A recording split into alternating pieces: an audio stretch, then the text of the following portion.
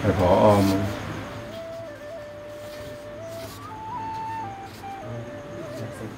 นี่เท่าไรวะเนี่ยสิบหกครับเนี่ยสิบหกพอหวยหวยเอ้ยวันครูด้วยว่ะหวยไม่ออก โอ้โหวันครูพอดีอาจารย์มา เออ โอ้โหพอดีเลยครูบาอาจารย์มา